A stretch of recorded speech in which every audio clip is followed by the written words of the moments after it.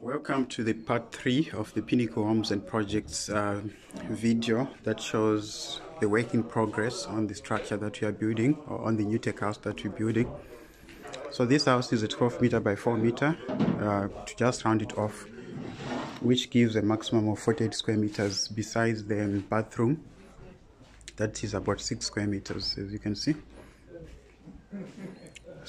Um, this is about 6 square meters. It's a good size of a bathroom that gives an allowance of um, a good size for a toilet, basin, and shower, even if one needs to install a bathtub. So this is the bathroom. Uh, there's still going to be board lining and ceiling, the cladding throughout the house and on the ceiling as well. There's going to be insulation first, the isotherm. So these boards are called um, OSB boards and the thickness of these boards is uh, 15 millimeter thick. These are OSB boards. They are very beautiful boards.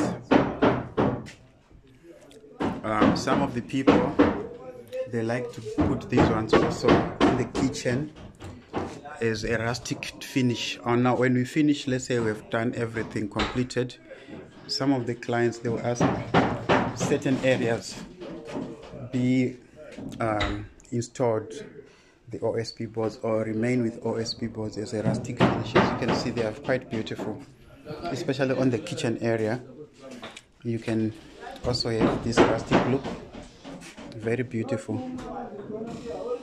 Uh, some they like them also on the sitting room, maybe just one wall, just to give a nice design. It depends if the client here want that, we'll do that because I see there's a lot of leftovers here. So where I am, that's the main bedroom. Bedroom one. So bedroom one is basically about between 12 and 15 square meters. It's a good size of a bedroom. And this is the window. This window is uh, about 900 by 600 if I'm not mistaken, uh, 9 by 6 and when they are in their bedroom very beautiful views as you can see. Very beautiful views if they stand in the bedroom because this area has got beautiful views. So they will also be board lining and ceiling insulation isotherm uh, we also use the right isotherm the 135 millimeter thickness. That meets the required uh, R value or the resistant value.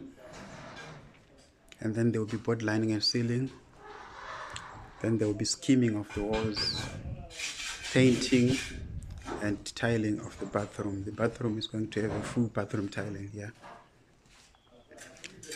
so you have all three walls on tiling the floor on tiling and then the outside wall on board lining and ceiling and painted. The ceiling is just going to uh, be skimmed because you cannot uh, tile the skip and then uh, the, the, ceiling of the bathroom and then we'll paint. There will be an extract, extractor fan uh, so that when there's mist when someone is bathing, this is the window for the bathroom, 900 by 900. Uh, when someone is bathing, then it takes the mist away. You prevent the um, moths and other uh, elements from affecting the bathroom area. The DB box will be here, just on top here, just behind the door. We've got a maximum of one, two, three, four, five windows, same size 9 by 6, and then a 9 by 9 um, bathroom.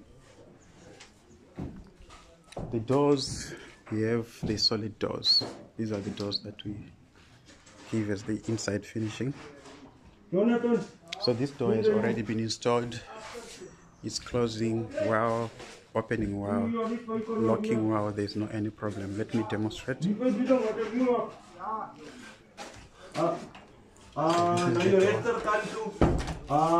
It's already closing with its um, lock. I've locked it. Then I'm opening it.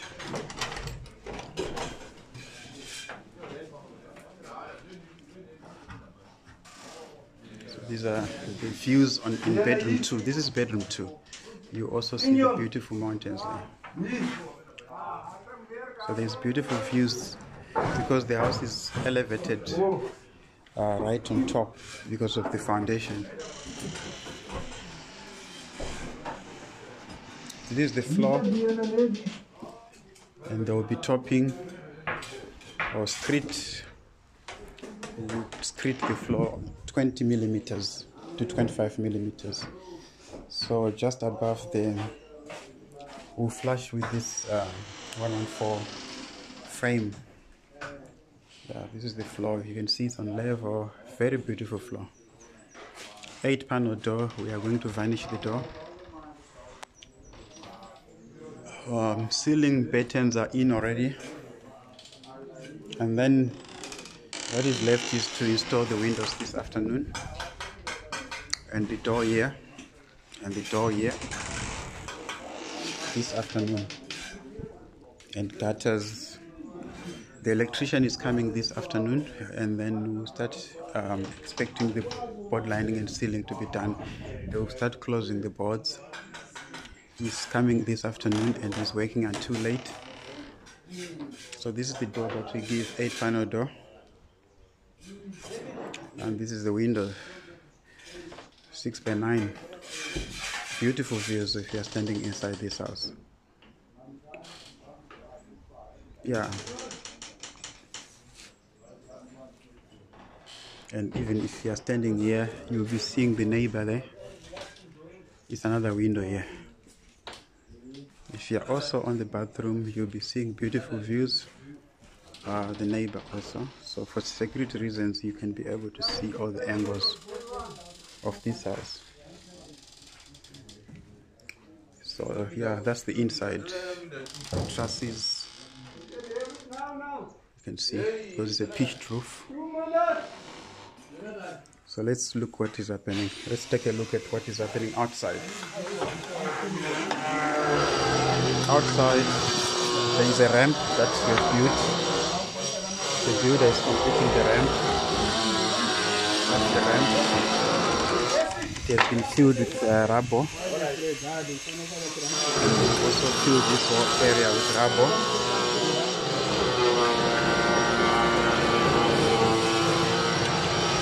When you're on top here beautiful views as well mountains.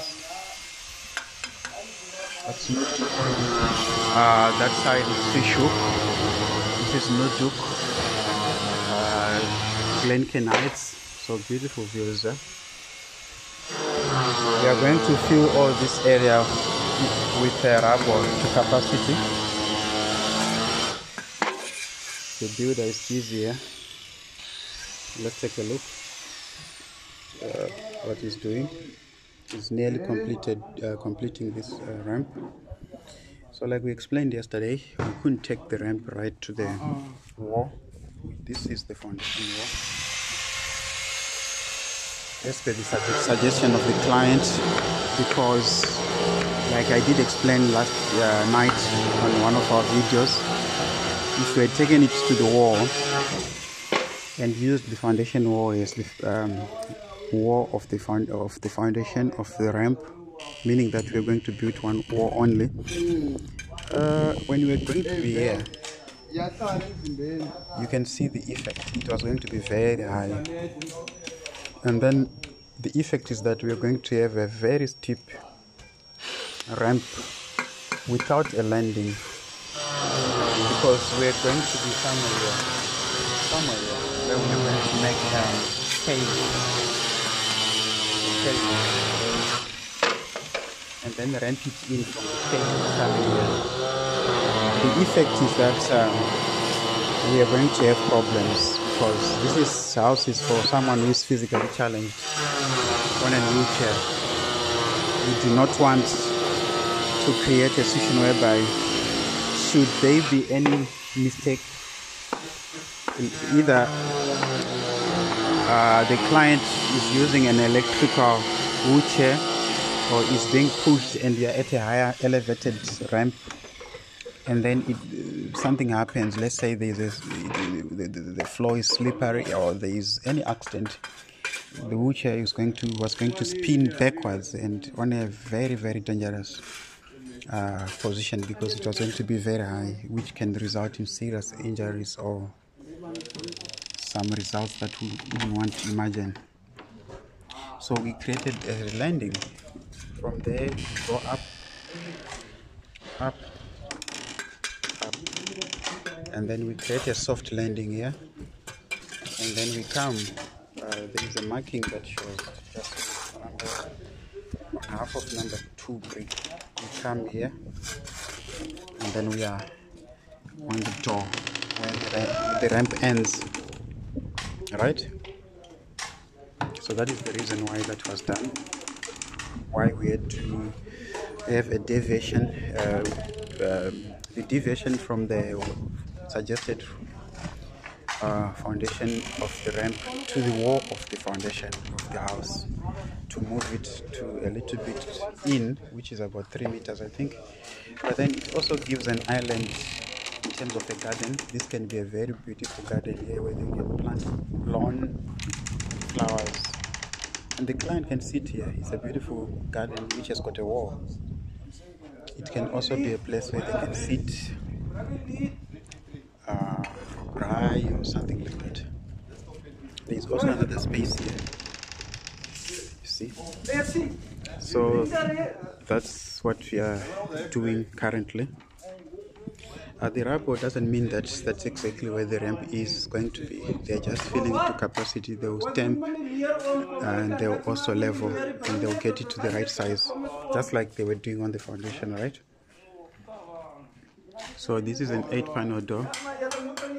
So normally these doors, they also require to be treated. So we're going to varnish and to be protected from the outside, which I think there will be a canopy. Normally we suggest that there is a canopy in front of this house just to protect the door from the elements of weather, the rains. Uh, look at the mountains. Imagine the rains that are in this southern peninsula, they can be very strong, and the effect is that the, the rains they normally hit on these panels, and that's how the leaking starts it's caused by a situation of not protecting with the canopy outside. There's nothing wrong with the door as you can see. These are coming straight from the factory. Properly sealed. But if the rain is too much, then it can also result in drops getting in from the inside. Those are some of the complaints that we used to get and then we eliminated them by suggesting the canopies or a veranda. Yeah, very beautiful OSB board there. And then um, I got a feedback uh, from one of our viewers on YouTube who also asked that uh, what would be the effect in terms of building the uh, steps after the house? Because they say that they had a similar experience at their house because when you get here where the steps join position of the house there's always problems with the, the ants and the termites. So i did answer that uh, first of all this house doesn't have steps. The plan of this house has got steps and, and, a stoop. But there's always deviations that happens in constructions that are allowed because of circumstances that the builder finds themselves on the site with regards to the what uh, to the client's requirements. So we, we, we deviated from the set plan because the person who is going to stay in this house, she's physically challenged. I like to use that word, physically challenged, because I believe no one is disabled. So she's physically challenged, hence we had to build a ramp for the wheelchair, be it an electrical wheelchair be it a physical um, a wheelchair that one pushes physically. So because it's a ramp, our ramp is exactly here, just below the. So it eliminates anything, all the elements that can come in, termites and what, and the ants and so on. I understand their concern because it's coming from this whole area where we are filling with rubble. As you can see all the soils the termites and all those elements but they won't because it's a ramp which i think perhaps if it was steps then it was going to be like that. Let me take you through the inside here. There will be a toilet pot and toilet pot is normally here. The plumber is starting tomorrow so there's going to be a toilet pot here if i'm not mistaken and a basin either of the side this area is the shower. So you walk in it's a walk-in shower. You walk in into the shower and it's good that it, it is a walk-in because of the situation of the client being physically challenged and being on wheelchair. It becomes very conducive for them to use this bathroom. So it's very user friendly physically challenged people friendly right? And then pot i think the pot is going to be a lower pot we are going to provide the standards. I think there is ways they use that which i don't want to dwell much onto that. And then there is a basin here then the plumber will run his pipings including the 110 pipe that goes right around there to the manhole and also his waste pipes. He's gonna run the piping for the shower here obviously you see them tomorrow once they are laid. It's going to be a geyser. I don't know if it's going to fit in here because the trusses that we have are very small. The geyser is likely to be outside. It's likely to be boxed somewhere here on the corner. That's where the geyser will be. Yeah. The kitchen sink is going to be here. Double kitchen sink and cupboard. So there's plumbing also coming here.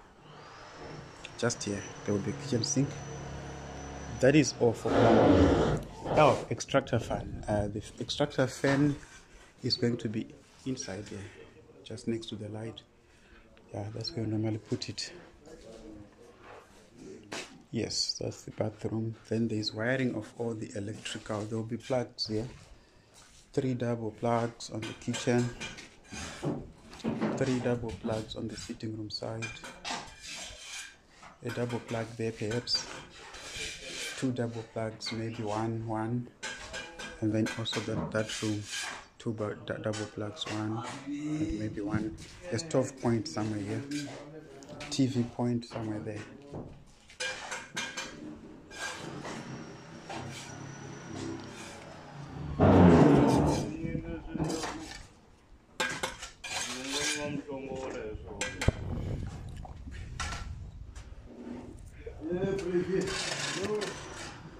Eh. e-tv ngoku um ngoba andikuvi kakuhle kwi-tv hayi i-tv ngantoni athi oh, uyijonga i-kipton t o uzabona phaya ubethe iqele izawenzeka izawenzeka lawe anteni ah, eh. Antini. Eh, Antini. Yes, mfana. ufune kampani